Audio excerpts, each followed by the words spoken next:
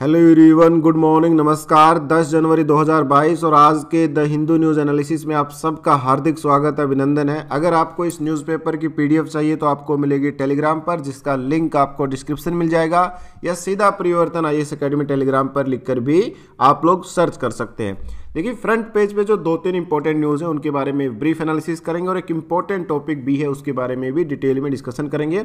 सबसे पहले NEET PG counselling को लेकर जो इशू था, वो सॉर्ट आउट हो चुका और 12 जनवरी से स्टार्ट होने वाली है। ये इन्फॉर्मेशन देगी सेंटर गवर्नमेंट के द्वारा। अभी तक हमने इस पूरे सिनेरियो को उस पूरे केस को पढ़ा ऑब्ज़र्व किया, फिर मैं ब्रीफ में रिपीट कर देता हूँ कि पूरा इश्यू बेसिकली था क्या। तो यहाँ पर अगर आप जाएँगे थोड़ा सा नीचे, देखिए, भारत सरकार ने एक तरीके से अगर आप देखेंगे ऑल इंडिया कोटा के अंडर 27 परसेंट जो अदर बैकवर्ड क्लासेज है और 10 परसेंट जो है इकोनॉमिकली वीकर सेक्शन को लेकर जो है कोटा शुरू किया था।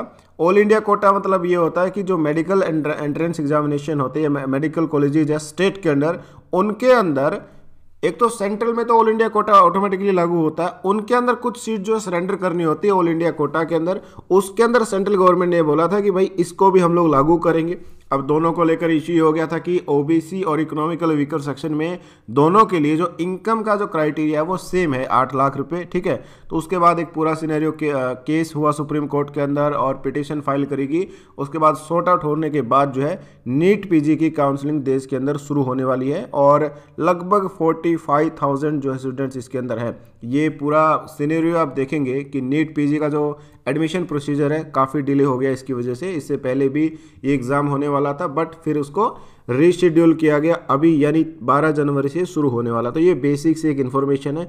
Economically weaker section 103 constitutional amendment उसके बारे में भी हम लोग ऑलरेडी पढ़ चुके हैं। अगर आप कंटिन्यू इसके बारे में हमसे जुड़े हैं तो ठीक है? अगर आप नहीं जुड़े, फिर भी मैं ब्रीफ में आपको इसको समराइज करूँगा।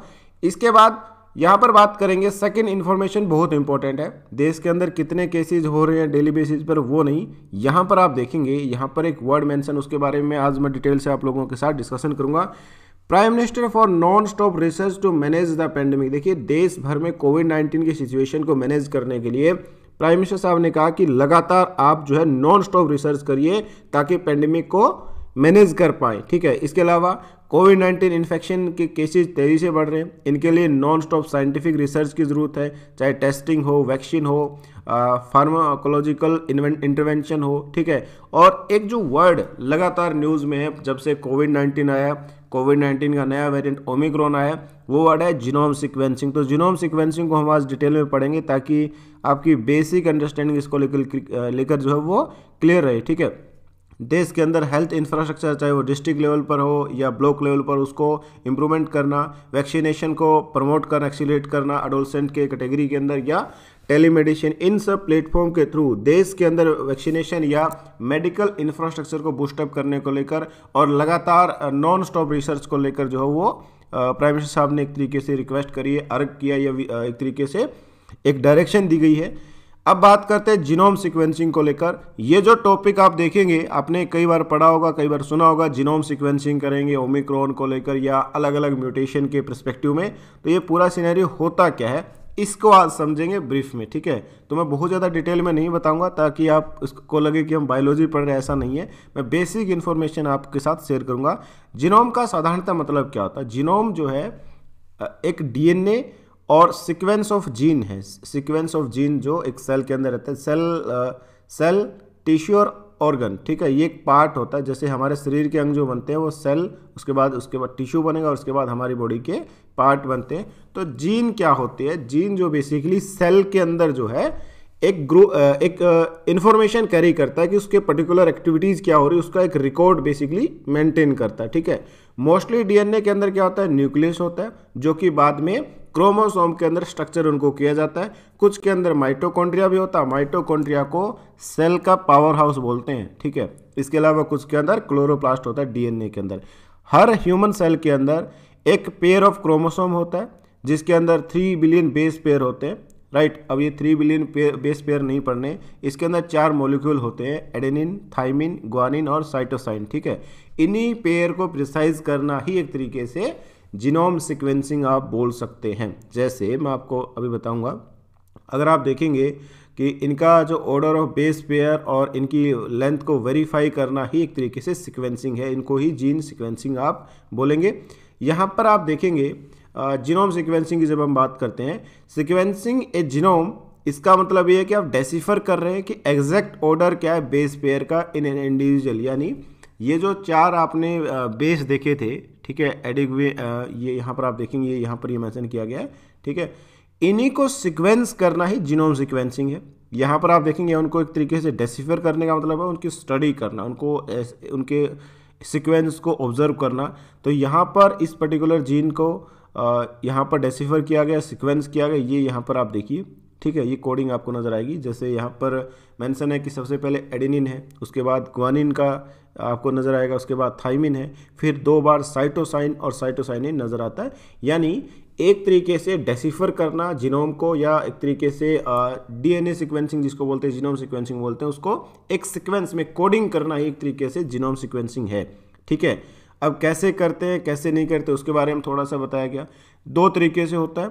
ठीक है? या तो full copy of the DNA हो सकती है या फिर आ, उसको छोटे छोटे पार्ट में। हालाँकि कंप्लीट जिनोम करना थोड़ा चैलेंजिंग होता है उसके लिए बहुत ज़्यादा इन्वेस्टमेंट की भी रिक्वायरमेंट होती है तो क्या होता है पार्ट्स में सिक्वेंसिंग किया जाता है। और इसके लिए सैंपल अगर हम बात करते हैं सालिवा एफिथिलियल सेल से बोन मैरो से हेयर से, इनसे लिए जाते हैं। और इसके अलावा फिर उनको स्मॉल स्ट्रेचेज के अंदर जो है वो हैंड कैसे स्मॉल पीसीज के अंदर सिक्वेंस किया जाता है क्लोन बाय क्लोन सिक्वेंसिंग करी जाती है। ये एक इंपॉर्टेंट है। हालाँकि वोहल जीनोम भी हम लोग कर सकते हैं बट वोहल जीनोम के लिए ज़रूरत क्या है?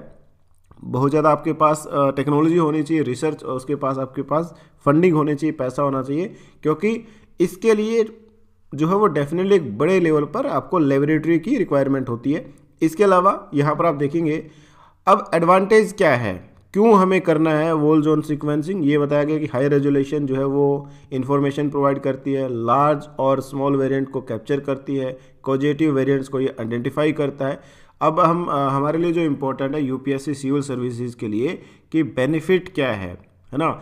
यूपीएससी में अगर आप देखेंगे साइंस एंड टेक्नोलॉजी के जितने सवाल पूछे गए हैं, उनमें बड़ा सवाल ये होता है कि इस पर्टिकुलर चीज़ की एप्लीकेशन क्या है बेनिफिट क्या है? तो जिनोम सिक्वेंसिंग से क्या होगा? आप डिज़ीज़ को अंडरस्टैंड करने में मदद मिलती है कि स्पेसिफिक वायरस जो है, उसको कैसे ट्रीटमेंट किया जाए। इसीलिए कोविड नाइन्टीन के ओमिक्रॉन वेरिएंट की स्टडी की जा रही है, वही, वो आप बोल सकते हैं जिनोम सिक्वेंसिंग है, ठीक है? इसके अलावा म्यूटेशन को आइडेंटिफिकेशन करना। ये जो वेरिएंट है, ये म्यूटेशन ही है, ठीक है? वायरस का एक अलग तरीके से म्यूटेट कर रहा है तो उसको आइडेंटिफाई करना, जैसे कैंसर की कैटेगरी में होता है। इसके अलावा मेडिकेशन के डिज़ाइन को अंडरस्टैंड करना, कि कोई दवाई है, उसको अंडरस्टैंड करिए कि कितनी वो इफ़ेक्टिव है, ठीक? इसके अलावा अप्लाइड साइंस के अंदर फोरेंसिक अप्लाइड साइंस के अंदर एडवांसमेंट में हो बायोफ्यूल्स एनिमल हस्बेंड्री इनके अंदर भी काफ़ी इंपॉर्टेंट रोल प्ले करेगी। इसके बाद एवोल्यूशन कैसे हुआ, उसको एक्यूरेटली अंडरस्टैंड करने में मदद करती है और जिनोम रिसर्च जो है डीएनए बेस्ड जितनी भी प्रोडक्ट है, ये डेफिनेटली एक बड़ी मल्टी बिलियन डॉलर इंडस्ट्री है, इसलिए भी बहुत इंपॉर्टेंट है। तो जिनोम सिक्वेंसिंग जिनोम सिक्वेंसिंग की रिक्वायरमेंट क्यों है, कितना इंपॉर्टेंट है, क्या बेनिफिट है एप्लीकेशन है, ये बहुत इंपॉर्टेंट है। मैं डिटेल में इसलिए नहीं बता रहा क्योंकि यूपीएससी में आपको बायोलॉजी नहीं पढ़नी है, आपको एक बेसिक अंडरस्टैंडिंग होनी चाहिए बायोटेक्नोलॉजी की, ठीक है? तो उसके लेकर सवाल आपसे पूछे जा सकते हैं। एक जो partial relief for Air India in Devas case Devas का आ, में जो केस हुआ था या देवास मल्टीमीडिया का जो केस है एयर इंडिया के कॉन्टेक्स्ट में उसमें एयर इंडिया को पार्शियल रिलीफ मिली है। इसके बारे में पेज नंबर एट पर हम लोग डिटेल से पढ़ें क्योंकि वहाँ पर अच्छे से इन्होंने एक्सप्लेन किया है। इसके बाद यहाँ पर एक फोटोग्राफ नज़र आएगा। इस फोटोग्राफ में जो है टेस्टिंग की जा रही है किसकी? इंडिजीनियसली बिल्ट एयरक्राफ्ट की। ठीक है, एयरक्राफ्ट बहुत इंपॉर्टेंट होते हैं किसी भी कंट्री के नेवल के लिए और एयरक्राफ्ट को बिल्ट करने में अच्छी खासी कॉस्ट लगती है। मैं अगर आप रफली आइडिया बताऊँ तो एक लाख करोड़ के आसपास हो सकती है कि एक एयरक्राफ्ट की कॉस्ट हो। ठीक है, ये बेसिक है, इसके अलावा भी हो सकती है। तो आईएनएस विक्रांत को 2022 में कमीशन किया जाएगा भारत की नेवी के अंदर। ये सवाल कुछ एग्जामिनेशन में पूछा भी गया था कि भारत का इंडियन नेवल शिप में विक्रांत को कब कमीशन किया जाएगा 2022 में। उससे पहले टेस्टिंग हो रही है, ठीक है? ये टेस्टिंग आपको नज़र आएगी पूरे सिनेरियो के अंदर राइट इसके अलावा, अगर हम बात करें फ्रंट पेज से कोई क्वेश्चन आपसे पूछा जाए तो क्वेश्चन आप लोगों के लिए एक सिंपल सा है।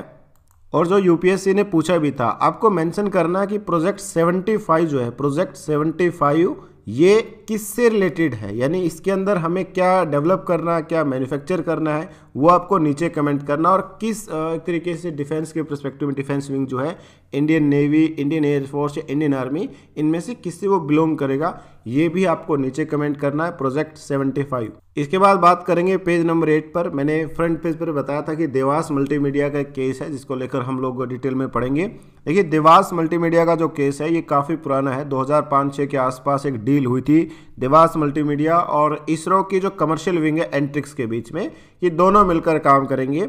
उसके बाद हुआ क्या? मैं आपको थोड़ी स्टोरी बता देता हूँ। 2010-11 के आसपास आपने टू जी स्कैम देखने को ज़रूर मिला होगा, पढ़ने को ज़रूर मिला होगा, या सुना ज़रूर होगा टू जी स्कैम या एक तरीके से, एक तरीके से स्पेक्ट्रम को लेकर एक जो है स्कैम देखने को मिला।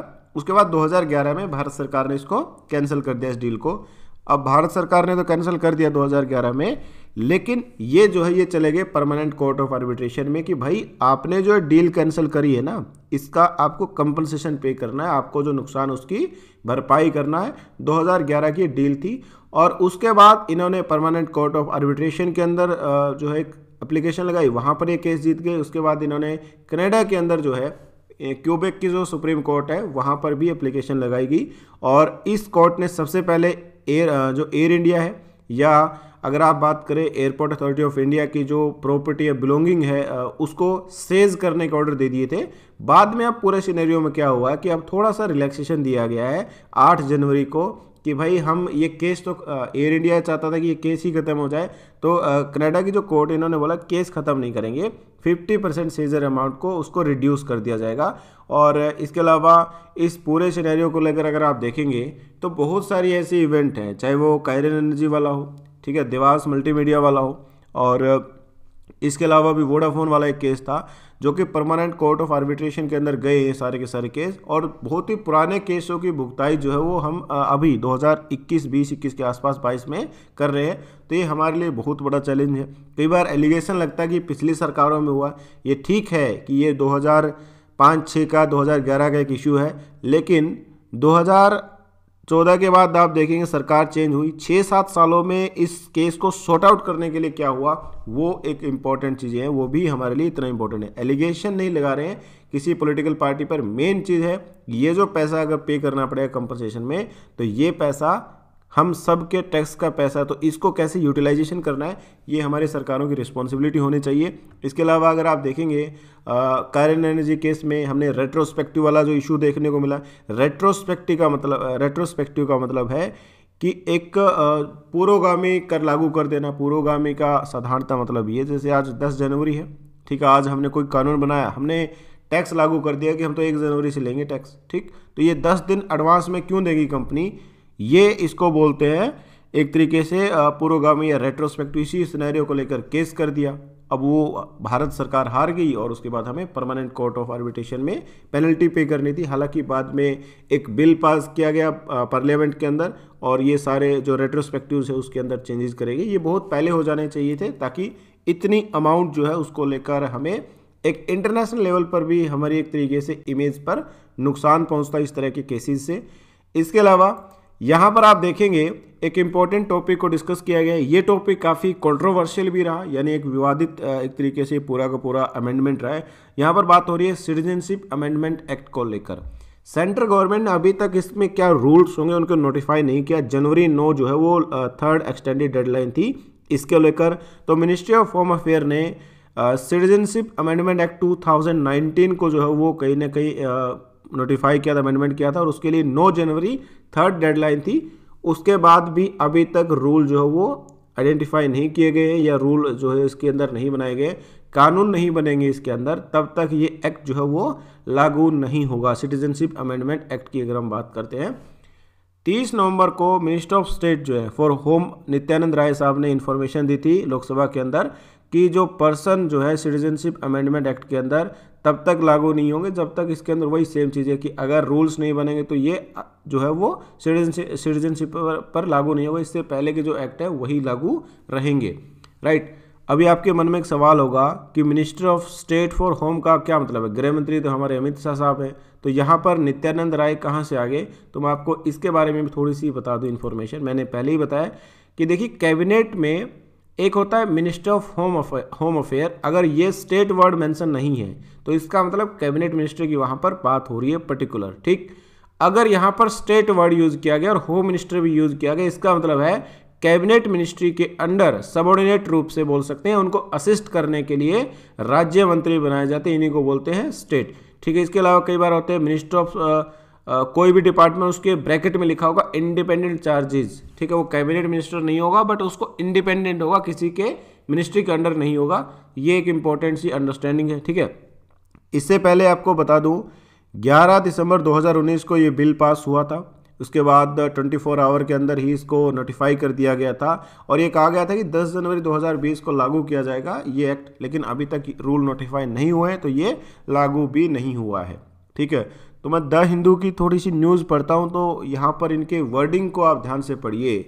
ये बात कर रहा था citizenship amendment act provide citizenship on the basis of religion to six undocumented documented non Muslim community यानी ये नागरिकता प्रदान करता धर्म के आधार पर नॉन मुस्लिम कम्युनिटी को। थोड़ा सा इन्होंने पोज नहीं लिया।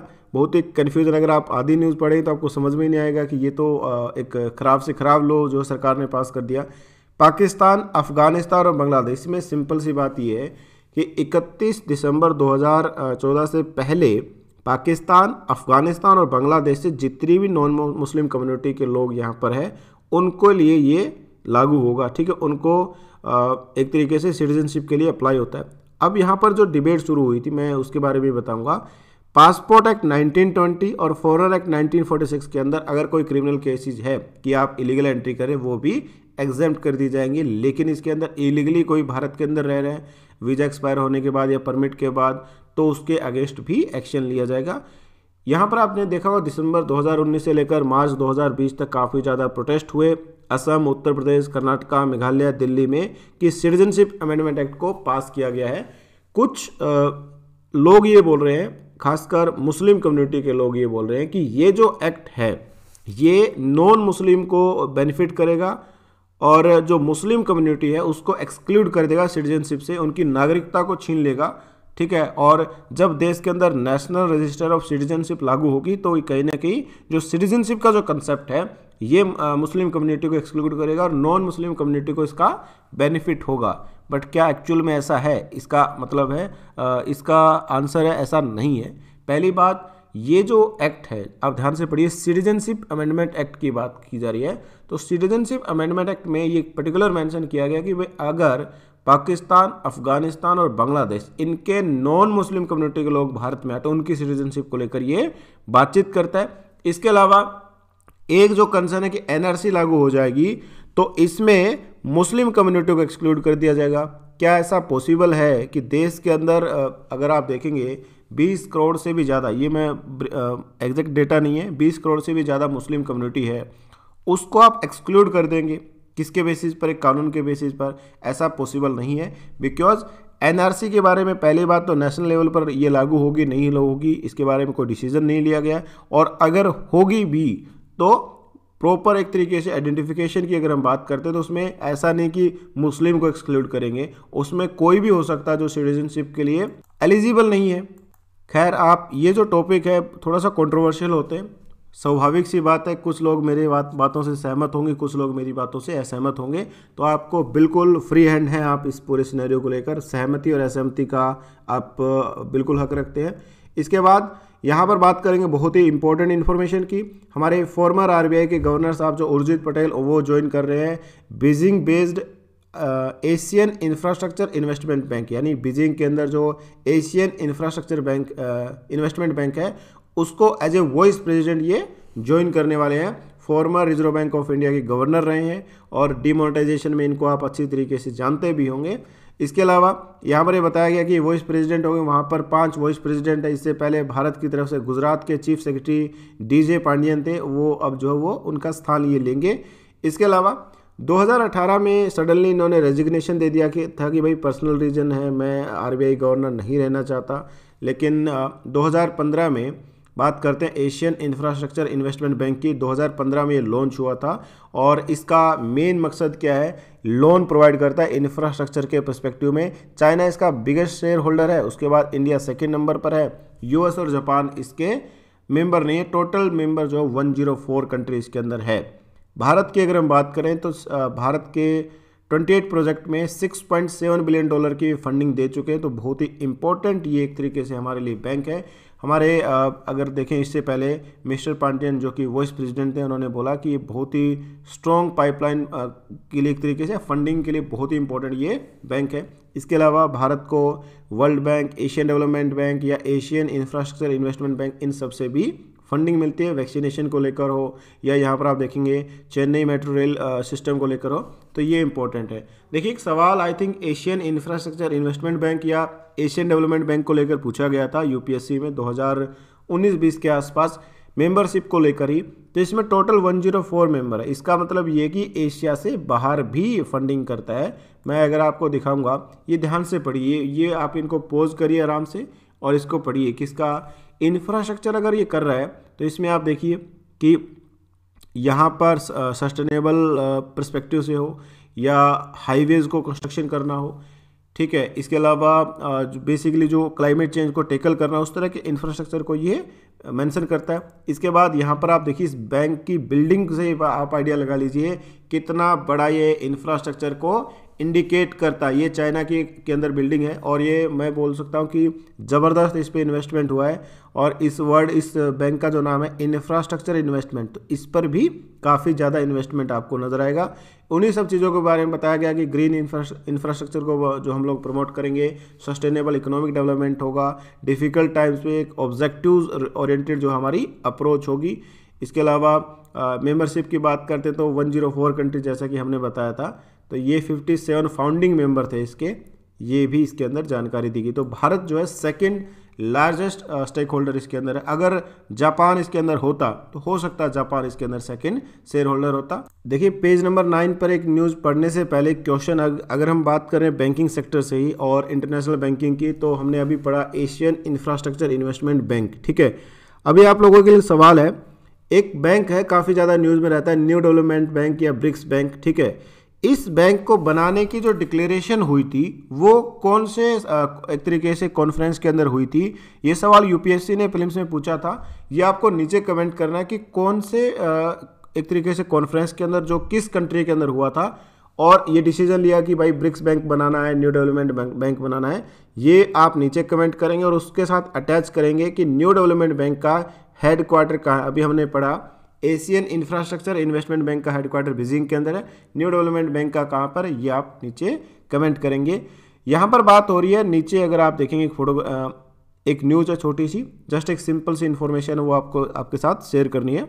यहाँ पर मेंशन किया गया है no PM photo in vaccine certificate in poll bound state मैंने बताया कि जैसे ही इलेक्शन अनाउंसमेंट हो जाती है मॉडल कोड ऑफ़ कंडक्ट लागू हो जाते हैं। मॉडल कोड ऑफ़ कंडक्ट का मतलब है आदर्श आचार संहिता या एक ऐसे रूल्स एंड रेगुलेशन की पॉलिटिकल पार्टी जो सरकार के अंदर है उनके ऊपर कैंडिडेट्स के ऊपर ठीक है? इसके अलावा जो वोटर्स है उनके ऊपर भी ये रूल्स एंड रेगुलेशन लागू होते हैं। एक तरीके से उनको क्या चीज़ें करनी क्या चीज़ें नहीं करनी है।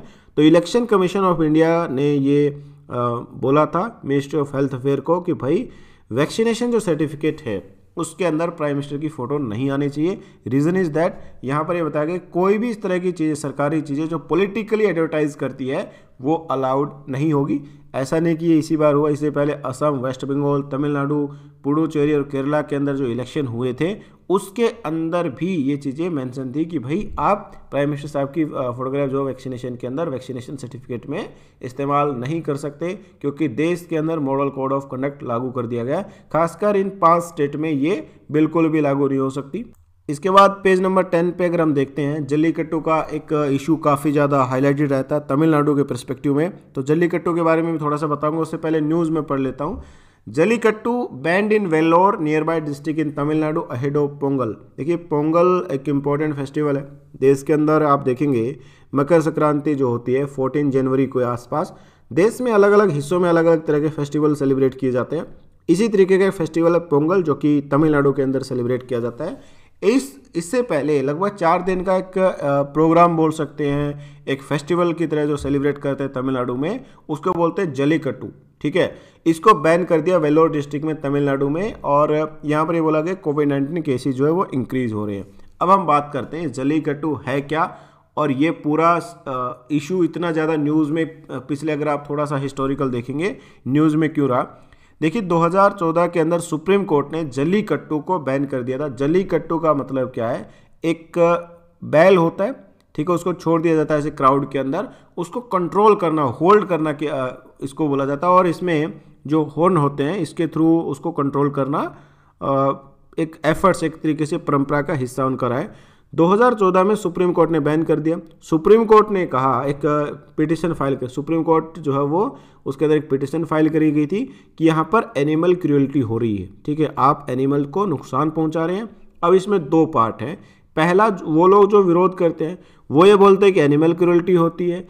इनकी कंडीशन इसमें कई बार फ़िज़िकल वायलेंस हो जाती है कि आप, देखिए बैल को भी चोट लगती है और जो इंसान इसके अंदर पार्टिसिपेट करते हैं, उनकी भी कई बार डेथ हो जाती है। इसके अलावा इनको भगाने के लिए एक तरीके से कहीं ना कहीं इनके अगेंस्ट जैसे कुछ इनको बार बार पीटना हो इस तरह की चिल्ली पाउडर का इस्तेमाल करना हो, ये पक्ष है जो लोग ये चाहते हैं कि इसको बैन कर दिया जाए। 2014 में बैन हुआ था, ठीक है? उसके बाद एक पक्ष आता जो इनके स्पोर्ट में है, वो है तमिलनाडु के लोग, ठीक? तमिलनाडु के लोग ये बोलते हैं भाई ये तो हमारी एंशियंट परंपरा का हिस्सा है, इसको बैन नहीं कर सकते। दूसरा, ये फार्मर्स के लिए इंपॉर्टेंट है। थर्ड जो है यूथ एक तो सही क्वालिटी के बैल को आइडेंटिफाई करने के लिए और यूथ का पार्टिसिपेशन जो उनकी एनर्जी लेवल को, उनकी कैपेसिटी को ऑब्ज़र्व करने के लिए भी इम्पोर्टेंट है और इसको लेकर इसको बैन नहीं होना चाहिए। अब बात करते हैं, देखिए 2014 में बैन हुआ 2017 में तमिलनाडु गवर्नमेंट ने एक रिव्यू पिटिशन फ़ाइल करी, सुप्रीम कोर्ट ने फिर भी मना कर दिया। अब ये पूरा इश्यू हो गया, बहुत ज़्यादा वॉयलेंट सा, ठीक है? उसके बाद क्या किया गया? तमिलनाडु सरकार ने एनिमल क्रुअल्टी एक्ट जो है 1960 उसके अंदर अमेंडमेंट किया सेंट्रल गवर्नमेंट का एक्ट है। और क्योंकि अगर आप सेंट्रल गवर्नमेंट के एक्ट को अमेंडमेंट कर रहे हैं ना तो उसके लिए आपको गवर्नर नहीं प्रेसिडेंट के सेंट चाहिए तो गवर्नर साहब ने प्रेसिडेंट को भेजा प्रेसिडेंट साहब ने इसको अप्रूवल कर दिया। और फाइनली अब जो है इस पर बैन नहीं है एज पर द लॉ ठीक है? ये एक इन्फॉर्मेशन इसके बारे में है। काफ़ी इंपॉर्टेंट है ये टॉपिक और बहुत ही डिबेट में रहता है कि होना चाहिए कि नहीं होना चाहिए, वो सारी चीज़ों के बीच में ये यहाँ पर कुछ रिस्ट्रिक्शन लगाए गए कोविड नाइन्टीन की वजह से। यहाँ पर फिर से उसी के बारे में बताया गया आईएनएस विक्रांत के बारे में कि आईएनएस विक्रांत जो है वो next set of sea trial के लिए गया है और वो ट्रायल कर रहा है उसके, क्योंकि 2022 में कमीशन करना है, उससे पहले का जो प्रोसीजर होता है टेस्टिंग की, उन्हीं सब चीज़ों के बारे में डिटेल से बताया गया। ठीक है तो बेसिक्स इन्फॉर्मेशन है, कोई पर्टिकुलर नहीं है। इसी तरीके से यहाँ पर एक राइट हैंड साइड इन्फॉर्मेशन है। Rafale M compatibility with aircraft carrier to be tested Bharat के अंदर राफेल की अगर हम बात करते हैं तो हमने एग्रीमेंट किया था कि इंडियन एयरफोर्स के साथ इंडियन एयरफोर्स के लिए 36 राफेल जेट जो हम लोग खरीद रहे हैं, किससे? फ्रांस से, ठीक है? लेकिन इंडियन नेवी की अगर आप देखेंगे तो वहाँ पर भी इस तरह के एयरक्राफ्ट की टेस्टिंग होगी, जिसमें राफेल एम डेमोस्ट्रेशन जो है, ये यहाँ पर आप देखेंगे। फरवरी एक को आप गोवा की जो टेस्ट फैसिलिटी वहाँ पर इसको टेस्टिंग होती हुई नज़र आएगी। इसके अलावा इंडियन नेवी की अगर आप देखेंगे शोर बेस्ड टेस्ट फैसिलिटी की अगर हम बात करते हैं तो वहाँ पर डेजोल्ट एविएशन द्वारा जो बनाया गया फ्रेंच फ्रेंच एयरक्राफ्ट उसको टेस्टिंग करी जाएगी। इसी तरीके का एयरक्राफ्ट है एफ़ स्लैस ए एटीन करके, ये सुपर हॉर्नेट माना जाता है S B T F category के अंदर, यानी शोर बेस्ड टेस्ट फैसिलिटी के अंदर ही इसको भी डेमोन्स्ट्रेट करने या उसकी कंपेटिबिलिटी कितना कंपेटिबल है, कितना वो फ़ंक्शन कर पाता है, उन सब चीज़ों को ऑब्ज़र्व करने के लिए काफ़ी ज़्यादा इम्पोर्टेंट है, ठीक है? इसके अलावा, यहाँ पर आप देखेंगे, दोनों में डिफरेंस बताया गया है एफ़ वन ए एटीन और जो राफेल एम है, इनमें डिफरेंस क्या है? ए, एक सिंगल सीटर है दूसरा जो है वो एफ़ ए एटीन जो है ये डबल सीटर है ट्विन सीटर जिसको बोलते हैं ठीक है? इसके अलावा 36 एयरक्राफ्ट के बारे में जो डील हुई उन्हीं सब चीज़ों के बारे में बताया गया। तो 2017 में इंडियन नेवी ने रिक्वेस्ट करी थी भाई रिक्वेस्ट फॉर इन्फॉर्मेशन में कि हमें at least 57 twin engine carrier fighter की रिक्वायरमेंट है और इसमें अभी 26 है, ठीक है, जिसमें few twin seater trainer variant है। तो इसको बढ़ाने के बारे में हमें लगातार काम करना पड़ेगा और इसको लेकर डीआरडीओ एयरनॉटिक डेवलपमेंट एजेंसी इन सब की एक इंपॉर्टेंट रिस्पॉन्सिबिलिटी भी होगी और इनका एक इंपॉर्टेंट रोल भी इस पूरे सिनेरियो में देखने को मिलेगा।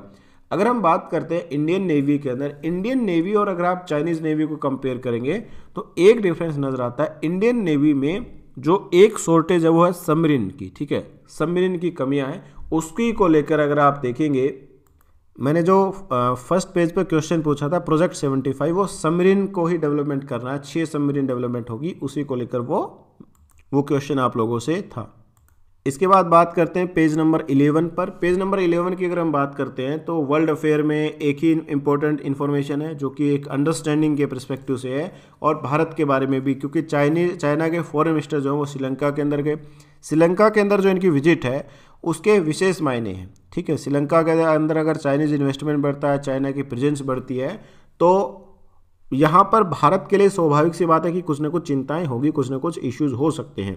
मैंने कई बार देखा है कि जो पॉलिटिकल लीडर होते हैं, जो लीडरशिप की क्वालिटी की अगर हम बात करते हैं, यहाँ पर चाइनीज़ फॉरेन मिनिस्टर ने मास्क लगाया हुआ, लेकिन श्रीलंका के जो प्राइम मिनिस्टर है, इनको ऐसा लगता है कि ज़बरदस्ती पकड़ा हुआ है और इन्होंने मास्क नहीं लगाया हुआ। मैं यहाँ पर ये बोल रहा हूँ कि जब हम पेंडेमिक की बात करते हैं तो लीडरशिप की एक प्राइम रिस्पॉन्सिबिलिटी होती है कि वो मैसेज कन्वे करे प्रॉपरली अपने आप को अगर ये लोग ये बोलेंगे कि मास्क लगाओ जनता को तो कैसे फॉलो करेंगे कि आप जो लीडरशिप की क्वालिटी है, उसमें आप एक खुद एग्ज़ाम्पल बनिए। तो इसमें गांधी जी की जो कोट्स है कि आप जो बदलाव दुनिया में देखना चाहते हैं ना, खुद अपने अंदर पहले लेकर आइए तो वो टेस्टिंग है, यहाँ पर आप उसको अप्लीकेशन कर सकते हैं। अब बात करते हैं Gotabaya Rajapaksa meets Chinese president foreign minister यहाँ पर आप देखेंगे, श्रीलंका के अंदर जो सरकार है, उसमें एक विशेष बात ये है कि प्राइम मिनिस्टर प्रेसिडेंट या आ, इनके फॉरेन एक तरीके से फाइनेंस मिनिस्टर हो टूरिस्ट मिनिस्टर हो मोस्टली इनकी फैमिली मेंबर है। ऐसा लगेगा कि डेमोक्रेटिक सेटअप के अंदर भी जो नेपोटिज्म या परिवारवाद की जो सही डेफिनेशन है वो आपको श्रीलंका के अंदर नज़र आएगी। तो श्रीलंका ने बहुत ज़्यादा लोन ले रखा है और अब ये चाहते हैं कि चाइना इनके असिस्टेंट को रीस्ट्रक्चर कर दे। यानी एक तरीके से जो पैसा इन्होंने लिया है फॉरेन करेंसी के अंदर वो कोशिश करें कि आप इनकी करेंसी के अंदर ही आप वापस ले ले। अब इस पूरे सिनेरियो को लेकर ही अगर हम देखेंगे, China econo sorry Sri Lanka economic crisis को फेस कर रहा है। श्रीलंका ने चाइना से पाँच बिलियन डॉलर का लोन ले रखा है। अब पाँच बिलियन डॉलर का मतलब होता है दस परसेंट के आसपास, ठीक है? इनका जो टोटल फॉरेन डेट है, उसमें दस परसेंट के आसपास है। इसके अलावा यहाँ पर इकोनॉमिक मेल्टडाउन हुआ है, काफ़ी ज़्यादा इश्यूज़ हुए हैं और फॉरन जो फॉरन रिज़र्व है, तेज़ी से कम यहाँ पर हुआ। उसका एक बड़ा रीज़न ये भी है कि इस कंट्री के अंदर टूरिज़्म सेक्टर काफ़ी ज़्यादा नुकसान पहुँचा है क्योंकि वो बहुत ही क्रूशियल है। मैंने दो तीन दिन पहले ही बताया था कि ट्रिपल टी इकोनॉमी है श्रीलंका टेक्सटाइल टी और टूरिज़्म ठीक है? तो तीनों में ही नुकसान देखने को मिल रहा है। श्रीलंका के अंदर फोरेक्स रिज़र्व जो अभी केवल 1.6 बिलियन डॉलर है। नवंबर की बात है। 1.6 बिलियन डॉलर ये फॉरेक्स रिज़र्व इनके पास है। अगर आप भारत से कंपेयर करेंगे तो अभी जो अपडेटेड है 635 बिलियन डॉलर हमारे पास फॉरेक्स रिज़र्व है। अगर आप कंपेयर कर लीजिए इंडिया और श्रीलंका में तो आपको पता चलेगा कि फॉरेक्स रिज़र्व बहुत इंपॉर्टेंट होता है। अगर यहाँ पर कमी आती है तो 90 91 और 92 के आसपास हमने इकोनॉमिक क्राइसिस देखने को मिला। उसका बड़ा रीजन था कि हमें, क्या हुआ, हमारे पास फॉरेक्स जो नए के बराबर हो गए थे या काफ़ी कम हो गए थे। ये इंपॉर्टेंट है। इम्पोर्ट कवर करने के लिए इम्पोर्ट कवर भी बोलते हैं कि हमारे पास कितना पैसा है कि अगर हमें कोई चीज़ इम्पोर्ट करनी पड़ी तो ठीक है? इसके अलावा इनका इम्पोर्ट बिल तेज़ी से बढ़ रहा है। यहाँ पर इवन एक इश्यू हो गया था कि इन्होंने फर्टिलाइज़र जो इम्पोर्ट कर रहे थे चाइना से, वो भी कैंसलेशन हो गया था। दोनों के बीच में थोड़ा सा डिस्प्यूट भी हुआ था। इसके बाद यहाँ पर अगर हम बात करें करेंसी स्वैप को लेकर, भारत से भी रिक्वेस्ट करी है। 2020 में रिक्वेस्ट करी थी। लेकिन अभी तक उसको जो है वो अप्रूवल नहीं मिला है। भारत ये बोल रहा है कि डिफ़िकल्ट टाइम में हम लोग श्रीलंका की मदद करेंगे। लेकिन दिक्कत ये होती, मैंने पहले ही बताया, अगर मान लेते हैं कि हमने जो लोन है, वो डॉलर के अंदर पे करा है, और श्रीलंका वो पे करना चाहता है श्रीलंकन करेंसी में, जिसकी वैल्यू अगर आप देखेंगे, लगभग दो टू पॉइंट सेवन है, यानी एक इंडियन रुपया, श्रीलंका का two point seven Sri Lankan rupees के इक्वलेंट है। ये तो पाकिस्तान की करेंसी भी से पीछे चली गई है। तो उस कॉन्टेक्स्ट में ये एक इशू होता है कि आ, क्या वो करेंसी स्वैप करेंगे या श्रीलंकन करेंसी के अंदर लोन को पे बैक करेंगे ये एक तरीके से इश्यूज़ इस पूरे सिनेरियो के अंदर है ठीक है? बाद में बताया गया कि दोनों मिलकर काम करेंगे वो सारी चीज़ें ठीक है? ये एक इंपॉर्टेंट चीज़ें आपको नज़र आएगी। श्रीलंका का अगर आप इंपॉर्टेंट पार्टनर की बात करते हैं तो वो चाइना है। भारत के लिए भी सेकेंड लार्जेस्ट पार्टनर है। चाइना और हम लोग बहुत ज़्यादा इम्पोर्ट करते हैं। इसके बाद एक कंट्री न्यूज़ में साइप्रस क्योंकि हमने मैपिंग का कोई क्वेश्चन नहीं करा। तो मैपिंग के लिए एक कंट्री हम ले लेते हैं, यहाँ पर साइप्रस क्यों न्यूज़ में वहाँ के फॉरेन मिनिस्टर नहीं चाहते कि इलेक्शन वहाँ पर लड़ा जाए। तो साइप्रस की यह जोग्राफिकल लोकेशन मेडिटेरियन सी के ईस्टर्न पार्ट की तरफ़ आपको एक आइलैंड कंट्री मिलेगी, जिसका नाम है साइप्रस और ये काफ़ी ज़्यादा न्यूज़ में रही थी क्योंकि टर्की लगातार यहाँ पर प्रेशर क्रिएट करने की कोशिश करता है। इसके ईस्ट वाले पार्ट में हाइड्रोकार्बन को लेकर ये न्यूज़ में रही थी। इसके अलावा फ्रेंच फ्रांस जो है इसको सपोर्ट करता है। फ्रांस यह चाहता है कि भाई इस पूरे सिनेरियो में इनकी प्रेजेंस होनी चाहिए। इनके अलावा एक सवाल आप लोगों के लिए है, यहाँ पर हम साइप्रस तो पढ़ ही रहे हैं। आप लोगों के लिए सवाल ये है, जैसे अगर आपके पास समय है, अगर आप कैपेसिटी रखते हैं, या तो मेडिटेरियन सी की जितनी भी कंट्री है बाउंड्री जो शेयर करेंगी इन सब के नेम आप मेंशन करेंगे। अगर आपको लगता है कि नहीं ये बहुत भारी काम हो जाएगा तो आपको एक काम करना है जैसे यहाँ पर आ, कुछ सी दिए गए हैं छोटे छोटे इनको आपको सर्च करना है ठीक है? जैसे टेरनियन सी है ठीक? इनको आप सर्च करके नीचे कमेंट करेंगे। इसके अलावा एक और यहाँ पर जानकारी जो आपके लिए है वो है जिब्राल्टर स्टेट से ये जो है वो कनेक्ट होंगे क्या? यूरोप और अफ्रीकन कॉन्टिनेंट ये ध्यान रखिए कुछ छोटी छोटी जानकारियाँ आपको आपके लिए राइट अब हम बात करते हैं क्योंकि आज इकोनॉमिक का सेक्शन या बिज़नेस पेज नहीं आता तो उसके बारे में एक रिव्यू आता है, वो इम्पोर्टेंट नहीं है। स्पोर्ट्स को लेकर काफ़ी ज़्यादा डिबेट हुई। यूपीएससी में क्या स्पोर्ट्स पूछे जाएँगे, नहीं पूछे जाएँगे?